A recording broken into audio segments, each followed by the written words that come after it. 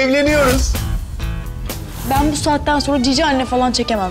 Babam çok efendi, medeni ve iyi bir babadır. Pavyona gelmeyince ben geldim. Pavyon mu? Buyurun hanımefendi ne oldu? Elini kör oldu. Çocuğun oldu çocuğun.